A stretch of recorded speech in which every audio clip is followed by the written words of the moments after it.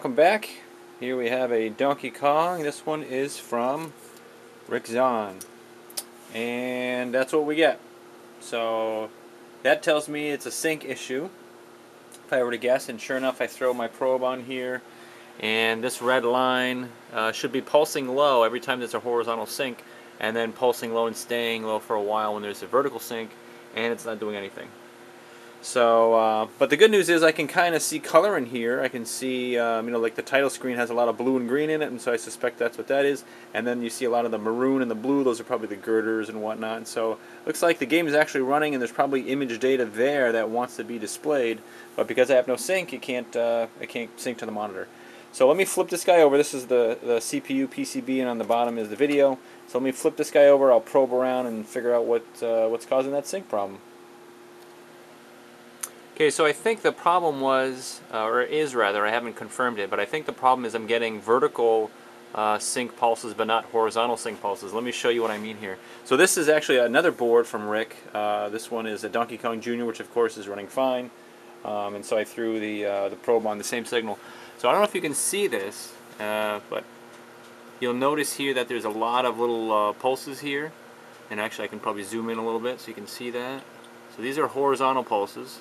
Okay, now let me zoom back out, and you'll see every once in a while you'll see a burst, or not really a burst, but just it's you know it's low for quite a long time, and that's a vertical pulse. Let me see if we can catch one here. Oh, you just saw one over here, this area. There's another one. And so you get a bunch of these little guys, and then one large one when you see a vertical sync. Now let me throw the other board back in there, and you'll see uh, you'll see the difference. Alrighty, and here's Donkey Kong again. You can see no horizontal pulses at all. Oh, there's a vertical sync. There's another one. And so we're missing all the horizontal uh, pulses. Now if I look at the schematics, and flip over to where this guy is generated. Uh, let me float around and see if I can find it here. There we go, it's right here. It took me a little while to find it. Um, there's some uh, logic here that takes, and of course this is all blurry, I apologize, but there's a horizontal sync and a vertical sync, and they're put through an XOR, I believe, to generate the component sync. My suspicion is that we're missing the horizontal and that the vertical is fine. Um, but this is fine because all the logic here generates that horizontal, so it gives me a, a good area to kind of poke around and, and, look and see what's going on. And so I'm going to flip the board over and start looking at this area here, and hopefully we'll be able to figure out real quick what's going on with our horizontal sync. So I took a look in this area, and it looks like the problem is with this uh, pot. It's actually shorted, and that's this guy right here. Uh, if you measure between those two terminals, it's short no matter how many, you know, no matter how I spin this guy. so I need a new one of these, which I don't have, but I do have uh, in this form factor. So I think what I may do is, as I'm waiting uh, for these to come in, I'll go ahead and order them, and I'll throw this in just temporarily so that I can get this thing working, because I believe there's other issues as well, not just with the sync. There's some sort of sprite issues going on um, from the email that I, that I uh, received. So we'll go ahead and throw this in just so I can get an image on the screen and then that way I can work with something and we'll go from there. Alrighty, making some progress. We have our sync back here. But uh, as you'll see in a second, we have no sprites at all on this guy. Um, and there's two sections on the video circuitry, one which handles all the characters and that includes the girders and the stairs and all that stuff. Those are considered characters. And then you have the sprites, which are the the barrels and Donkey Kong and uh, Jumpman and all that good stuff. And so, so that's good. I mean, at least it isolates you know the issue. So I have to start digging in. Um, actually, these are the video schematics here, I believe, and um, all the stuff down here, all these ROMs down here, those are all for the sprites. And all that data kind of goes through here, through this little RAM, and then comes through and gets muxed in with the character data here. So I think the first thing I'll check is that mux because if the, let's say that mux is pegged uh, in one direction or the other where it's only allowing the character data to go through, then you know the sprite data could be there and ready to go and it's not getting sent through. Uh, if it is working properly, well then I'll have to start going back to where uh, this RAM is and working my way back through you know all the uh, sprite logic. So it looks like a mess, but it's actually, as I'm looking at it a little bit more and more, it's not too bad. So yeah, I'll start with that mux and I'll work my way back and uh, we should be able to find this guy relatively soon and get this thing uh, back in good shape. Well, I was working on it and the whole thing went blank. Um, actually, I saw like Donkey Kong, Donkey Kong, the entire half part of the screen was replicated down here, and then it kind of got weird again, and I saw like Donkey Donkey and something something. It uh, it was acting really squirrely, and then the whole thing went blank. and whenever you see something like a, a section of graphic repeated another time, that's a huge clue that there's a problem with your horizontal uh, or, or, vertical, depending on the orientation of your monitor and how the schematics are labeled. But one of those address counters, vertical or horizontal address counters, and those counters on Donkey Kong are way up here in the video PCB as far as the schematic goes. They're up here in the top. And the way this works is you have a counter down here that's counting every horizontal line and then every other horizontal, well these, these signals pulse every horizontal line, every other horizontal line, every fourth horizontal line, and then it moves over to you know every eighth, every 16th, 32, 64, and so on and so forth. And so basically they, they're daisy chaining these guys together. So when this counter reaches its max value, it sends a little pulse to this guy, letting it know that it can start counting. And, and likewise, when this guy reaches its max value, it sends a pulse to this guy, lets it know that they can continue to count. So it's creating one huge counter out of these three little mini counters, if you want to look at it that way. What I'm seeing is that the output of this counter is totally fine, except for the carry out that, that follows over to these guys, to let these guys to to, to know that they need to count up. Um, and we can kind of look at that. Actually, I have my little probe here. And so if I start probing, let's see, the, the smallest counter here is at 1N, which is this guy right here. And so if I start looking at the outputs, and I have my scope probe because I wanted to actually look at the integrity of the signals, I believe the count, me just peek over my shoulder here, so pins 11 through 14. Uh, so 9, 10, 11. And so this should be probably the fastest bit. I'm sorry, not the fastest bit. Is it the fastest bit? it is the slowest. So let me start with the fastest to help you guys understand what I'm seeing here. So here's 14. So see how fast that is? And now if I move up one, we should see it about half that speed. See how the, uh, the spacing between the pulses is wider, so the clock is slower. And then it should get slower still, and then get even slower still. Now if I look at the carry out, the signal lets the other counters know that it's time to count up. That's what I'm seeing there. Actually, I'm seeing a tiny little blip there. But I'm assuming that the driver within this part is bad and such that it's wanting to send that pulse to the other chips, but it's not doing that. So let me replace this guy. This is just a simple counter at 1N. And hopefully that'll clean up, um, you know, at least the, the replication. And the video, I mean, I got to see what I'm doing here so I can figure out what the problem is. So I will start with that. Uh, so just give me one moment here. Well, I had that sync problem tackled for about 15 minutes, and then the damn thing went black on me again. Um, so I just thought I would share with you some of the stuff that I'm seeing. This is the counter that I replaced, a simple 4-bit counter. And I have some signals that I'm probing, and I'll show you that in a second. This is where the counter is on the schematic, like I showed. Um, so there's a bunch of inputs that are not really being used. Um, all these guys here, which is basically just the, the preset value of the counter. Um, and the clear signal is not being used, and that's all getting pulled up by this resistor here. And then we have the output bits. This is the least significant bit, and then, then it kind of moves up on from there. So if you were to probe these guys, you'd see this guy wiggling quite a bit, this guy half as much, this guy half as much as that guy, and so on and so forth, you know, powers of two. Um, what I'm seeing is there's crosstalk between these output bits and this pull-up net here. And so this guy, like I said, I should probe him. It's probably 5 volts should be about 5 volts. But over time, you'll see this guy change to match, start matching. Um, actually, several of these signals kind of muxed on top of each other. And so it was really interesting to see that. So here we have, uh, actually let me fire this board up because it's not fired up at the moment. If we fire it up, okay, so here's the least significant counting signal. You can see it counting away. And there's the 5 volts, right? That's the pull-up net. And you can see there's no crosstalk whatsoever. It actually looks pretty clean.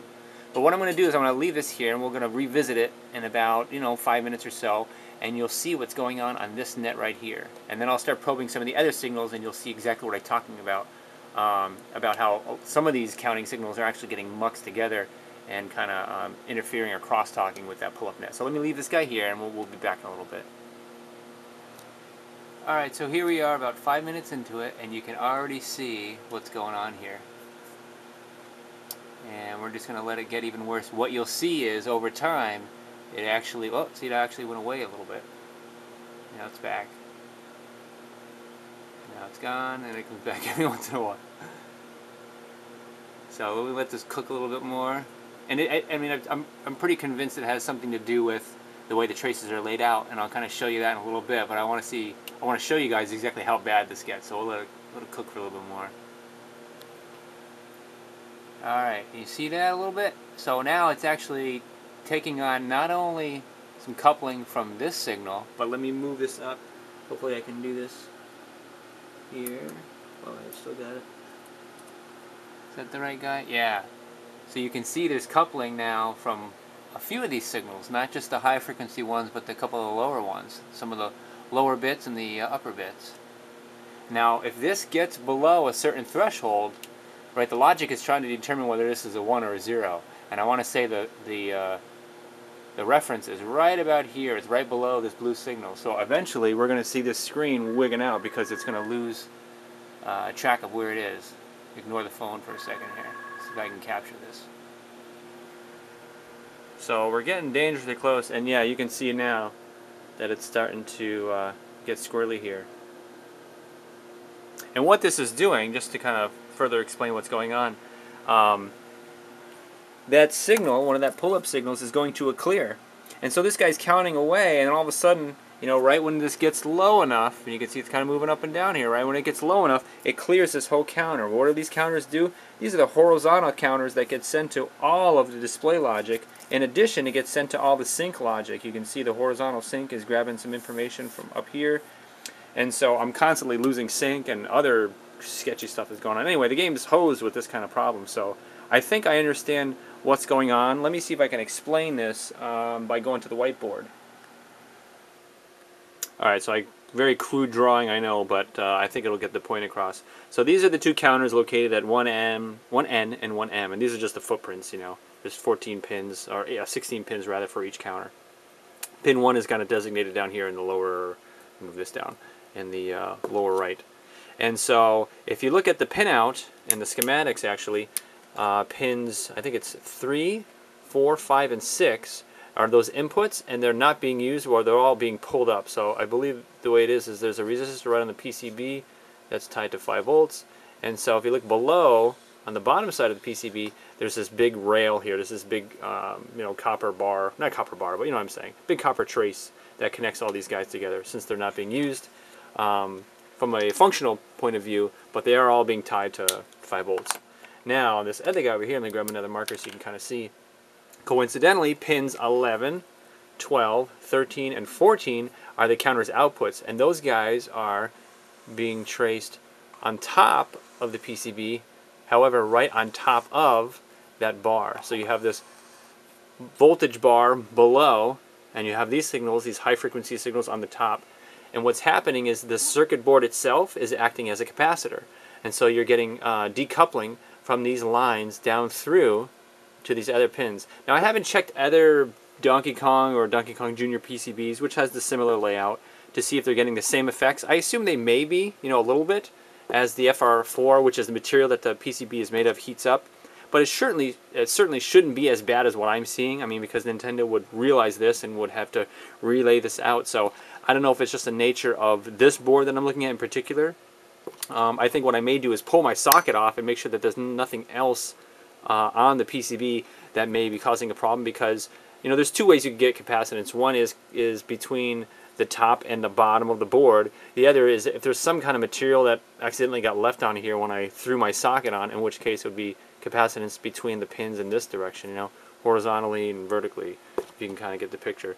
So I think what I'll do is pull the socket off, uh, clean it all up, and then uh, and then run it again course, I won't see any video because this chip is going to be gone and the video will be sketchy, but I can still um, you know, probe these points and figure out there's still a capacitance issue. If there is, then I may have to figure out, you know, if I have to reroute these, you know what I mean? Trim them here and then use some wire to kind of rework it. I really hate to do that if I don't need to. Um, but I don't know, let's, let's not worry about now. Let me pull this uh, chip off again and uh, let it heat up and reprobe the guy and uh, see if it's a problem. I do notice that it gets worse as temperature you know increases on it so um, we'll just have to let it cook and and see what's going on. Yeah, um, anyways, I'm not sure how interested any of you guys are seeing this kind of stuff, but this is um, this is the socket I pulled it off. This is the back side of that PCB. Uh, and you can see all those, uh, all these pins here that are stitched together. Those are the ones that were uh, tied up through a pull-up resistor, which is actually on the other side of the board right there. And then you can see all the lines coming from the other chip are going right over that on the top side of the PCB. Uh, and I think that's what's causing the problem. Anyway, I'll throw this back on and let's start probing some stuff. Okay, so back on minus the uh, minus the IC that we removed. Of course, no video because we're not getting any sync. Um, and nothing yet. So let's leave this on there for a little while longer, see if it heats up, and uh, check again. We'll check back and see what happens. Well, this guy's been sitting here for about a half an hour and no uh, problems whatsoever, so that's good. Um, and I even actually heated this up with my heat gun a little bit to see if maybe temperature was a factor when it wasn't. Um, so I'm thinking maybe it was something that was sandwiched between the socket that I put in and the PCB. That's one thing. Or, um, and I thought about this a little bit more, it could have been the type of socket I use. I actually have two types of sockets, and uh, you know I got a drawer full of these things, so I don't really look at them in too much detail as I pull them out and throw them in. Um, but there's a big difference between the legs on these guys. You probably can't tell with this camera, but um, if I were to hold these guys, let's say, actually, let me just kind of go over here and explain it. So some of the pins actually, uh, or some of the sockets rather, have pins that are manufactured this way and some this way. And so you think about a cross section, if I actually put a pin in this way, that's a lot of surface area in this direction that's running parallel to those traces that are uh, going in the same direction. And so that adds to the capacitance. If I turn that guy this way, it's a very thin amount of metal, okay, that's up against the uh, those traces. So there's a there's a very small amount of capacitance there. So just something as simple as that can can cause you know quite a difference. So I think what I will do is is just take a socket that I have that's kind of oriented like this, where the pins are kind of uh, designed this way. Throw that in there, and uh, of course clean this up. Make sure there's nothing there between the socket and the PCB and uh, solder that guy in. Again, put the part back on and uh, see if uh, all these problems go away. Hopefully that'll be it. There's still, you know, like we saw, there's a, um, a problem with the sprites, but we'll get to that first. I mean, I need to be able to see what I'm doing to, to kind of debug that. So let's take care of this first. I think we're almost there. Yeah, I think that's what it was. Either the socket or something that was beneath it. I'm starting to wonder if it was just the socket that I used. So that's coming up fine. Of course, there's a missing sprite, and uh, the game is still missing sprites, but at least I can kind of move on at this point. So let's start digging into the sprite circuitry and uh, bring those guys back.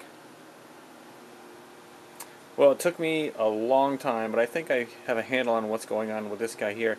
I actually had to force the video board into a known state, um, and so I did that by flooding the video RAM with ones using the Fluke, and then using uh, blank EPROMs to uh, constantly drive ones out of the uh, the ROM circuitry down here so that I can make sense of the shifting and everything like that. Everything's toggling, it's hard to tell whether or not it's an issue or things are working properly. So by just flooding it with a known value, it makes things a lot easier. So that's what I did.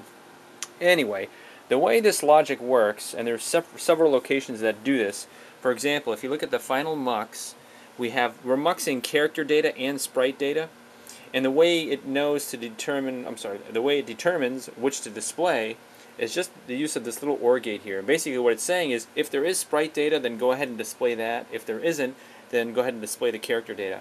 And that's why you can have sprites kind of look like they're overlaying on top of characters as they're walking, you know, um, in different directions and things like that. Or enemies, you know, they can kind of flow over, you know, background characters like the ladders and things like that. You know, the fireballs. I'm thinking of the second stage where you got the fireballs, for example.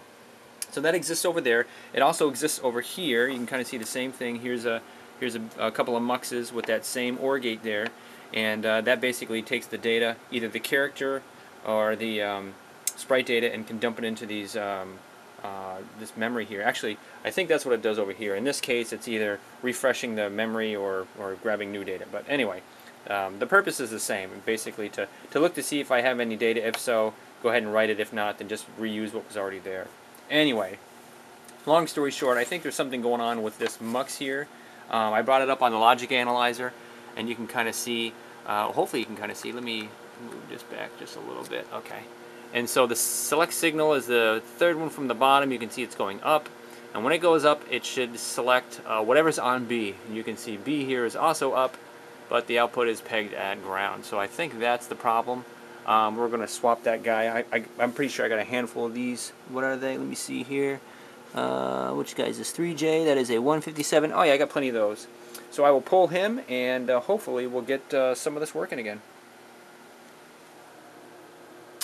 Well, no luck. even though that mux was definitely bad, and I verified that it is now working, I'm still not getting uh, sprites. So I had to probe around a little bit more, and uh, in particular looking at the control signals that allow me to shift all this data out, trace that back through all the way to this, this video RAM here.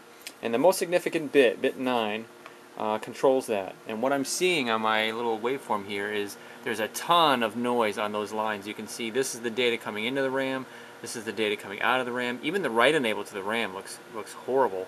And eventually that trickles down to this signal here, which is the control signal for um, for all this, this stuff to kind of happen. So there's definitely something going on. That that bit, the input bit to that RAM, is driven by a massive uh, AND gate, which basically looks at a bunch of the values of the horizontal counter, horizontal address counter, ANDs them all together and sends it into there. So we're gonna start taking a look at that gate because something something looks wrong there.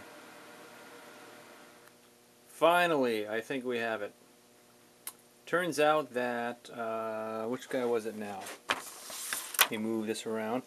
This guy here, uh, the output didn't match the input. And so at first I suspected him, so I swapped him out, but the problem didn't go away, which led me to believe that it was actually the input of either one of these two guys driving back and screwing up the output of that guy. And sure enough, it was this guy right here, 5P, uh, inside the output was uh, shorted to the input.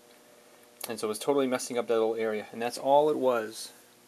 So yeah, I think there's still a little bit of sync issues.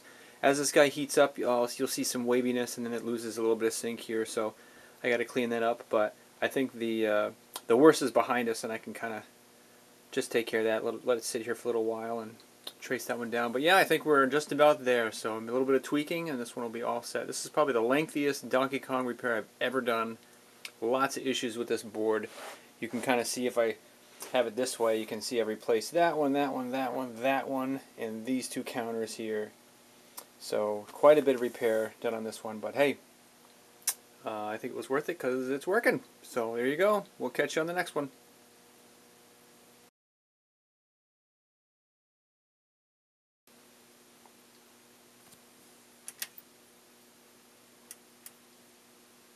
Okay, so we got our sync issues fixed here. Uh, whoa, at least I thought we did. What's going on here? Seriously? How many times do I have to fix this?